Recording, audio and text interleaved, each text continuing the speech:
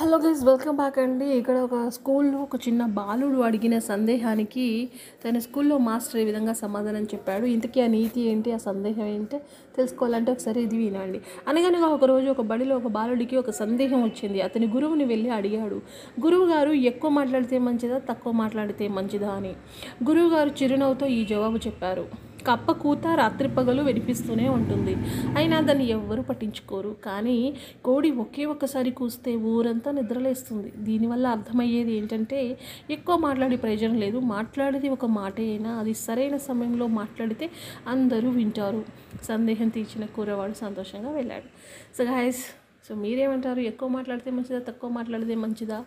అంటే ఎక్కువ కాదు తక్కువ కాదు.